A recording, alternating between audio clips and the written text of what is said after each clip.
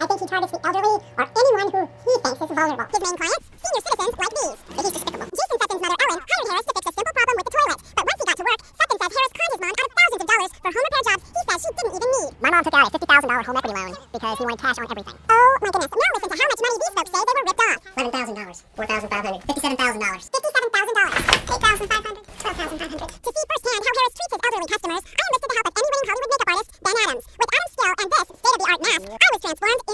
into a granny. Go ahead and talk. To make it look and sound right, her help. He had to actually glue my lips into the mask. Some green granny glasses and a walker, and I was ready to go. Look at me before and after. It's time for Undercover Granny. My next step was renting a home and rigging it with hidden cameras. Then deliberately made a leak in the water heater. I called Glenn Harris to make an appointment, and he told me he'd be there at 9 a.m. the next morning. What he didn't know, we had gathered many of his angry customers in a van parked just down the block. They all waited inside for the big surprise we were about to spring on him. The man equally has no conscience. The only problem? Harris didn't come. He's late, so we waited and waited and waited. What's it like being in that mask for so long? I'm feeling a little claustrophobic. Waiting for Glenn Harris to show up is something these folks are all too familiar with. He's a pathological liar. This is uh, par for the course for this slime ball. So after four hours of waiting, even these folks looking for justice had had enough. I'd like to be smart too. Eventually, we reached Harris, and he told me he'd gotten tied up, but promised to be there the next morning. Alas, when morning came, he blew us off again.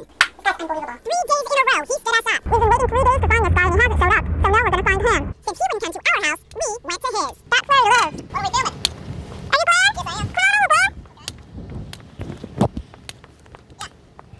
Glenn, I've been waiting for you for three days. You were supposed to come over and do some plumbing for me. Who, who are you? Well, I don't know who you are. I'll tell you who I am. Okay.